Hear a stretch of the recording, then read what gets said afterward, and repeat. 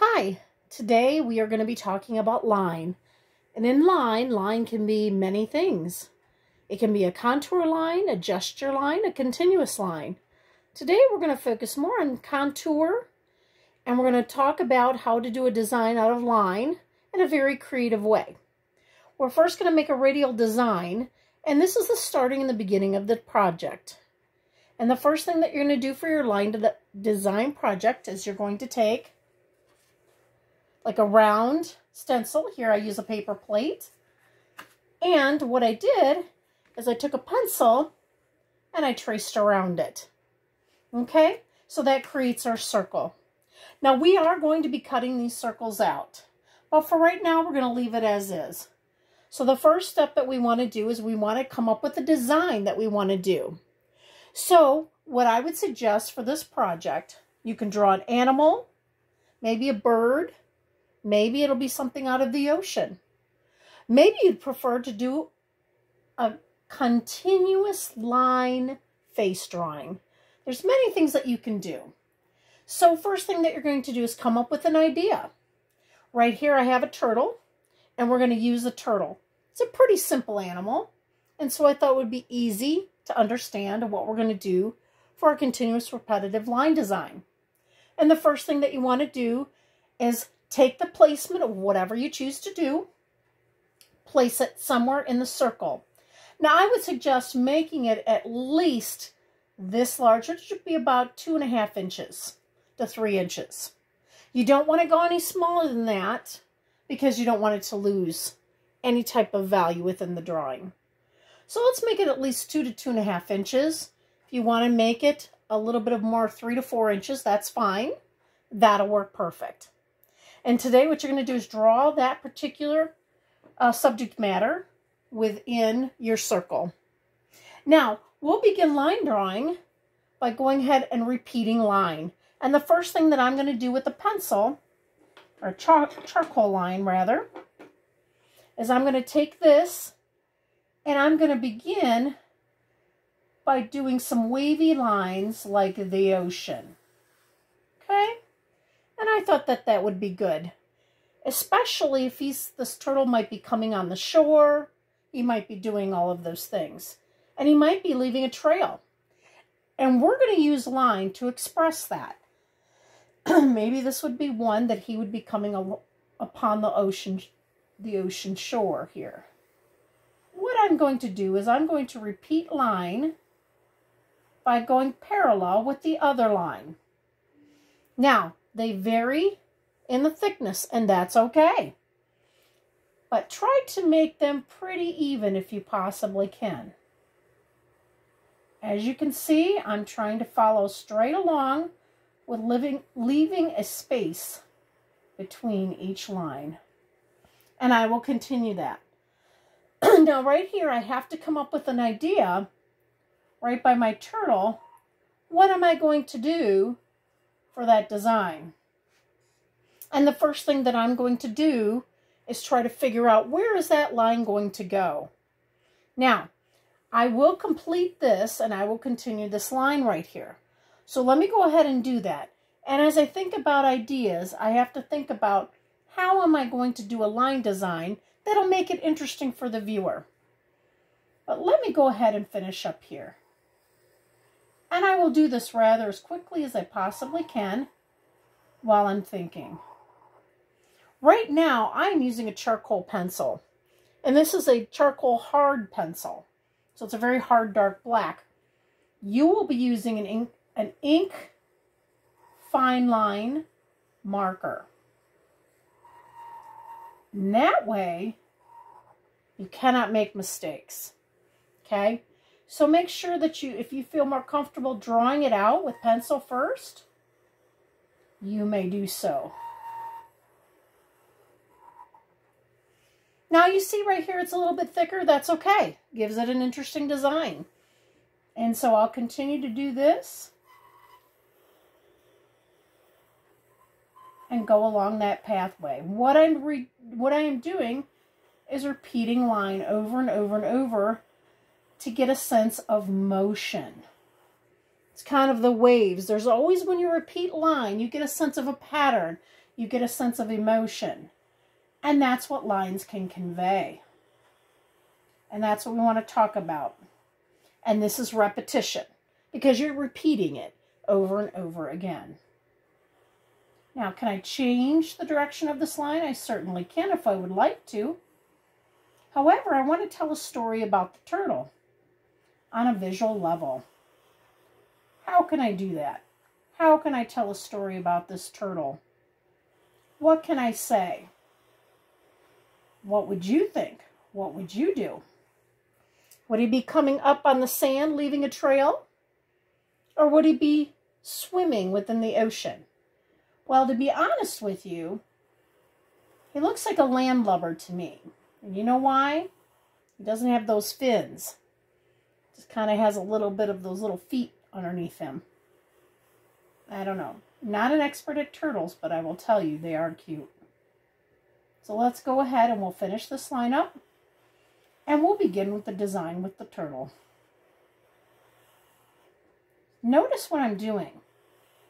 As I'm encroaching the space here, my lines get shorter and shorter and shorter as they fill the space. And this is the negative space. The turtle would be the positive space. So what I'm going to do is I'm going to have this wave come over him. Like that. And I'm going to fill in this space with as much line design.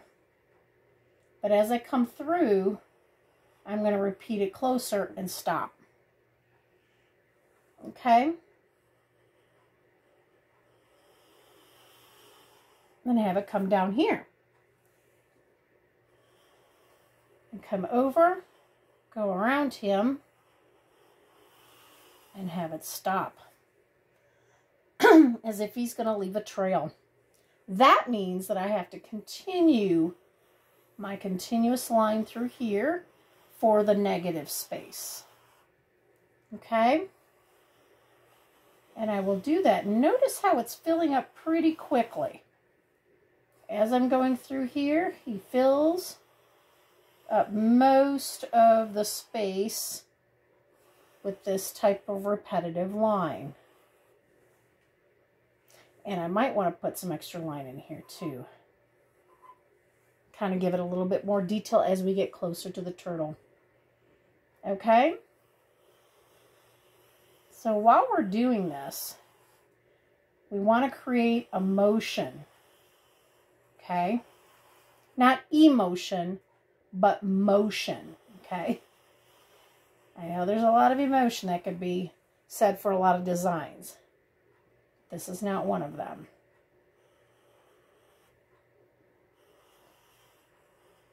Okay. I will fill in this space fairly quickly. Okay. Now, as I come in, I'm going to work on this space just a little bit more.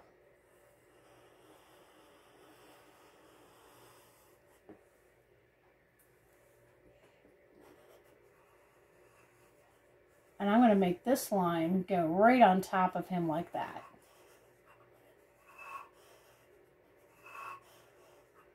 I'm going back and forth with my line. Okay, it's going to be a little bit darker around where he's at, and I'm going to fill that in.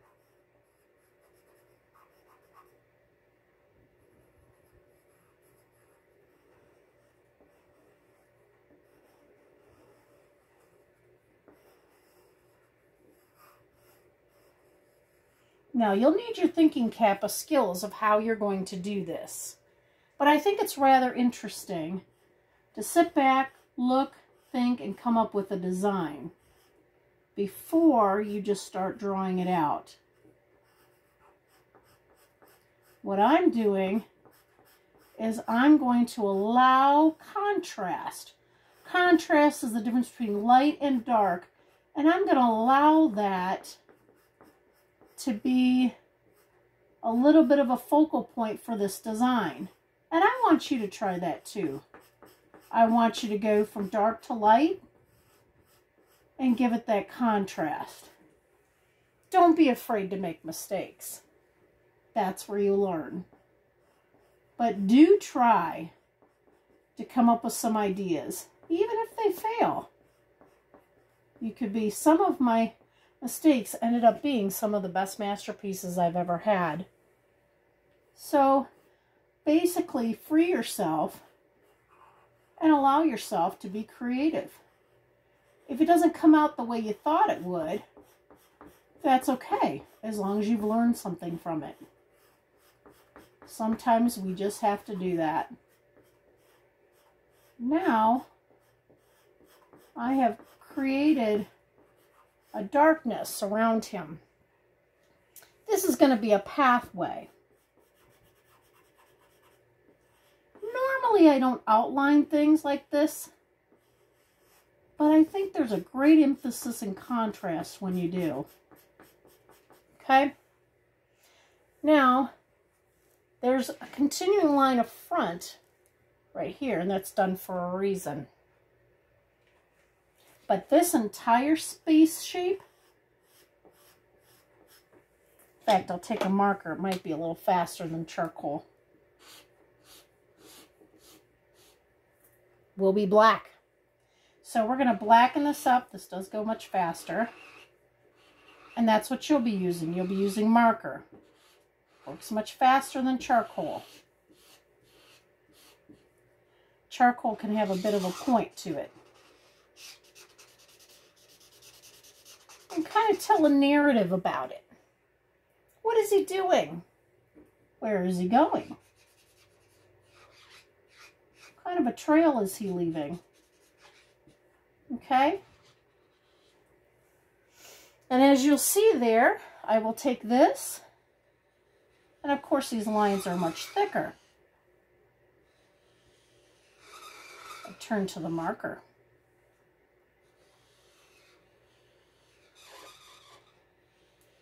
Notice I'm simplifying it.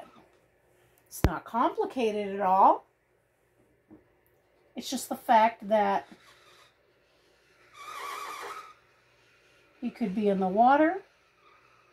You can go through a little bit of a strip of land there going into the water. It doesn't really matter. And what I'm going to do is I will continue to fill this in. And I will continue to fill this in as well.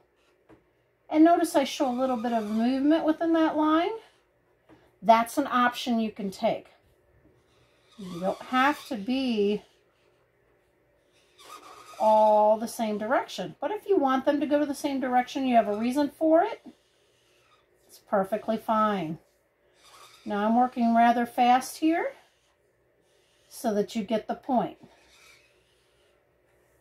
I have a thing with leaving spaces open. Hint, hint. Don't leave too many big spaces open. Make sure you fill your entire circle with that particular line. Now I have examples for you to look at that are in Schoology. Those examples show many different creatures and birds and faces, some wonderful examples of what can be done. One person drew a face in the center, a simple little face of the nose and went around and around and around and around and around and around for a spiral. Very cool design, you know. So you can use thick lines, thin lines, jaggedy lines, smooth lines, contour lines, continuous lines. These are all part of the line family. And what I will do is I'll continue this throughout.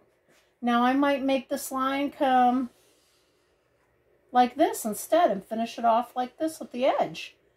Kind of give it a contrast of the type of line which means contrast means different. And you can do that too. But make sure you continuously work on that line. Okay? So now I want you to take your time, come up with a design. Could be a creature, an animal, a face. Take a look at the examples. Kind of get inspired by some of them. Now this I used a marker, this I used charcoal. You can kind of tell the difference. And that is, that concludes this lesson.